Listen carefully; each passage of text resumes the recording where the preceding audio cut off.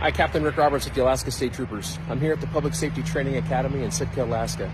It's Monday morning and we just got done inspecting the recruits before they go off to class to learn how to investigate crimes in the state of Alaska.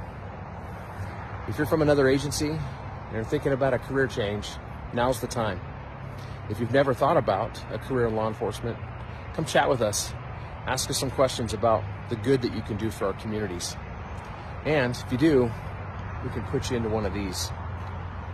Amazing opportunities for the Alaska State Troopers. Now's the time. Go to alaskastatetrooper.com and apply today.